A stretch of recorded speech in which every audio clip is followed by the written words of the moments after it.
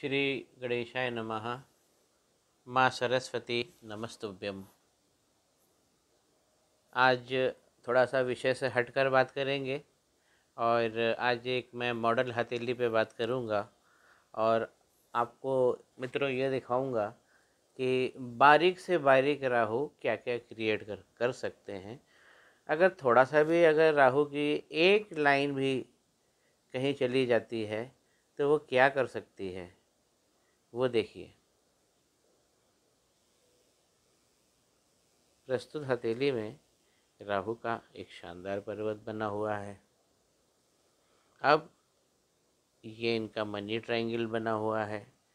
राहु का पर्वत पूरी तरह चमक रहा है और इसमें जो ग्लो है, जो शाइन है, और देखिए शनि के पर्वत, यही तो हमारी इनकम है, यही हमारी इनकम है। तो इनकम, हमारा राहु और शनि, ये दो पर्वत ही दिखाते हमारी समृद्धि दिखाते हैं। आज का विषय मैं समृद्धि ही रख रहा हूँ। और अब देखिए, इस समृद्धि के अंदर मैंने कुछ अपने पुराने वीडियोस में भी बताया था और अभी मैं फिर एक बार रिपीट कर देता हूँ कि ये हमारी लाइफ लाइन होती है और यहाँ तक हमारी कुछ चिंता की लाइनें हैं, ये सब चिंता की लाइनें हैं। लेकिन जब ये ये चिंता की लाइनें लाइफ लाइन को छू जाती हैं तो राहु का नकारात्मक प्रभाव आता है। अब प्रस्तुत हथेली में देखिए, यहाँ से देखिए, ये दुख देती है, ये दुख देती है, ये दुख देती है। नहीं, ये एक जो मैंने तीसरी बनाई है, वो तो वो तो इनके वाणी के पर्वत पे जा रही है। राहु, अगर कोई राहु पर्वत से, मंगल पर्वत से निकलकर राहु पर्वत से होते हुए कोई लाइन बुध पर्वत पे चले जाए, बशर्त कि वो मैरिज की लाइन को नहीं काटना चाहिए। मैं ड्रॉ करके बता रहा हूँ। ऐसा निकले और यहाँ तक चली जाए।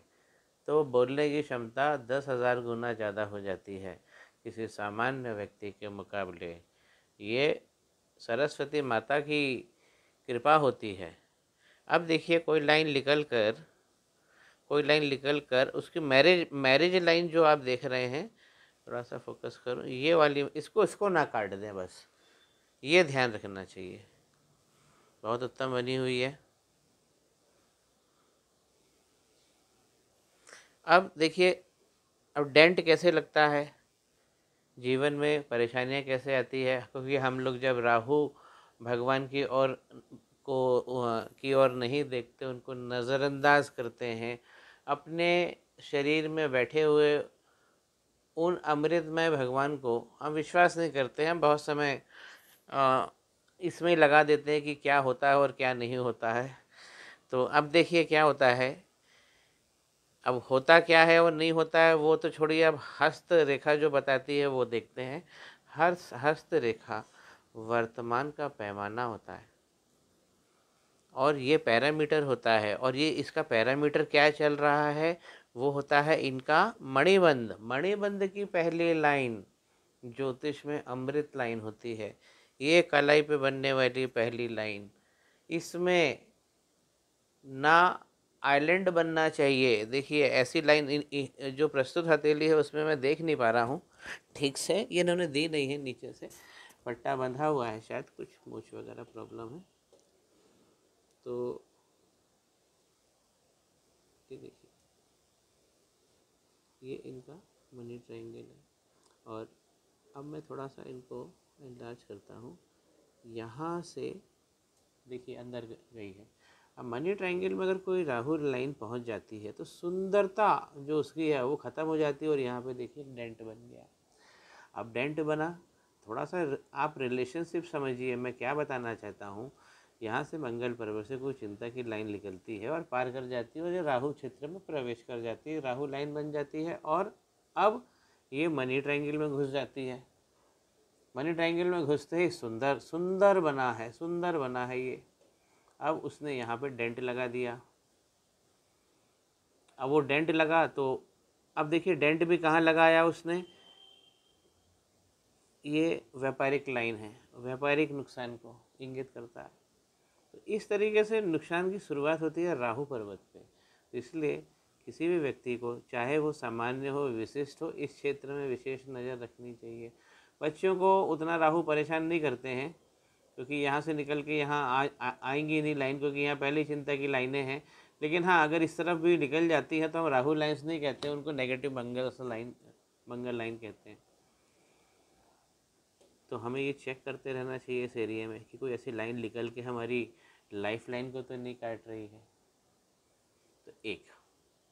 दूसरी चीज़, हमें ये देखते रहना चाहिए कि हमारा जो शनि पर्वत है, मैं इनको नीले से ड्रॉ करता हूँ, इस पर कुछ नेगेटिव गतिविधि नहीं चल रही है।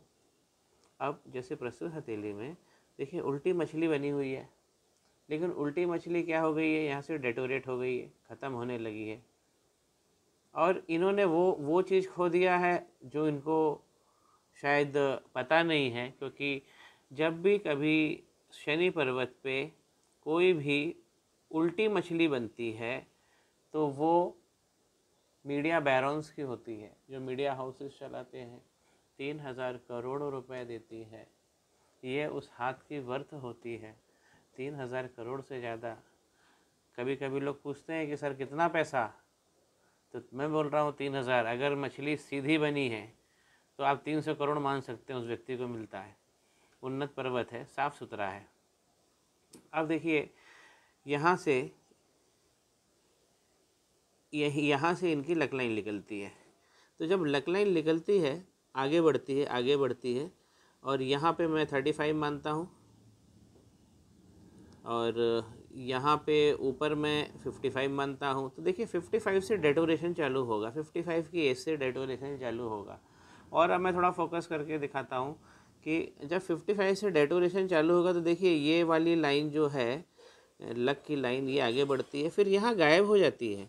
और फिर देखिए, यहाँ आगे बढ़ती है और यहाँ पे एक आइलैंड बनाती है और फिर वह आगे चलती है। तो यहाँ मैंने थर्टी फाइव माना और यहाँ मैं फोर्टी फाइव मानूँ। तो थर्टी फाइव से फोर्टी फाइव का जो पीरियड था वो बहुत कस्टमाइज पीरियड था जातक के लिए। फोर्टी फाइव से फिर एक अच्छा पीरियड चला और फिर ये फिफ्टी फाइव तक आया। देखिए, बहुत अच्छा पीरियड है। लेकिन फिफ्टी फाइव के आकर फिर ये जो ब्लैक डॉट बना, यहाँ से वो लक लाइन वीक पड़ने लगी। देखिए, यहाँ से वो लक लाइन वीक पड़ने लगी। मैंने ब्लू कलर से बनाई है। अब क्या करती है, वो जाके एक डिप्रेशन के जो क्षेत्र बन रहा था, उसमें समाहित हो जाती है। ग्रेट लॉस ऑफ़ रिसोर्सेस ये बहुत बड़ा लॉस होता है।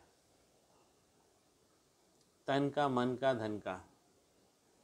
अगर कोई लक लाइन हमारे भाग्य की लकीर जाकर इस डिप्रेशन लाइन डिप्रेशन एरिया में चली जाए डिप्रेशन का एरिया बना हुआ है और यहाँ पे जो धब्बा बनता है स्किन में, ये प्रत्येक व्यक्ति को अपने हाथ में देखते रहना चाहिए। इन दोनों उंगली के बीचों बीच में जो साइन बनता है, कहीं देखना चाहिए कि कहीं किसी की स्किन वहाँ ख़राब तो नहीं हो रही है। मैं बार बार अपने ज्योतिष और जो ज्योतिष ज्योतिष नहीं भी जानते, जो सामान्य सभी लोगों से बोलता हूँ, ये डिप्रेशन का एरिया है, यहाँ पे जाल नहीं बनना चाहिए। आप सब लोग चेक करते रहें। तो उस जाल में चली जाती है जो जाल बना हुआ है, जो हेल्थ इश्यूज़ भी दिखा रहा है। देखिए, अब ये जो लक की लाइन है एक बार जब एक बार जब ख़राब होती है तो फिर वो होती ही चली जाती है, फिर वो होती ही चली जाती है, होती ही चली जाती है। अब अब देखिए शनि पर्वत पे हलचल है। भाई हलचल है तभी तो लाइन ख़राब हो रही है। और लाइन ख़राब हो रही है तो पीछे का चंद्रमा भी ख़राब कर रही है, देखिए। लाइन जुड़ी होती है, ये इस पर्वत से। अभी मैं चंद्रमा पे आता हूँ। शनि का पर्वत देखिए, यहाँ पे डेटोरेशन होने लगा है। और मछली गायब हो गई है। अब देखिए, उंगली में हम आइए। अब हम बहुत सालों पहले अगर देखते हैं तो उंगली में डेटोरेशन होने लगता है। हम ध्यान नहीं देते, उसके और पाँच साल पुरानी बात कर रहा हूँ। और आगे जाते हैं तो यहाँ पे एक स्पॉट आ जाएगा। और अब देखिए, शनि शनि भगवान की जो उंगली होती है, यहाँ पे हमें हमेशा देखते रहना चाहिए, कहीं कोई स्पॉट ना हो। देखिए, यहाँ तिल है। फिर देखिए, यहाँ पे एक अलग से एक फॉर्मेशन हो रहा है, एक डिप्रेशन का क्षेत्र बन रहा है। हमको ये बहुत करीब से देखते रहना चाहिए। ये हमारा दूसरा नुकसान, देखिए, और भी है, और भी है, और भी है। ये, अगर ये उंगली में पढ़ रहे हैं, इसका मतलब है कि आपके संसाधन कटके रहेंगे। संसाधन ऐसा नहीं कि आपकी संपत्ति जाएगी, आपका शरीर के अंदर जो ग्लूकोज है, वो भी इफ़ेक्ट होगा वो भी आपकी संपत्ति है। तन, मन और धन, मन में कुविचार आएँगे, मन कहीं लगे लगेगा नहीं। बहुत सारे इश्यूज़ होंगे।